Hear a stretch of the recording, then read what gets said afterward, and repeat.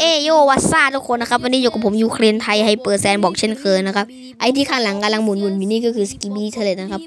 กลัวว่าคนเขาจะบอกว่าผมไม่ได้ตามกระแส Skibidi Toilet นะครับผมนะจริงๆผมตามนะครับ แต่ผมขี้เกียจเจออันนี้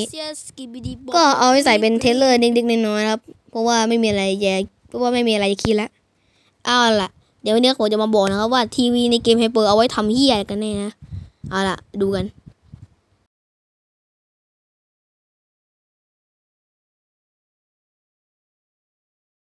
พูดเข้าให้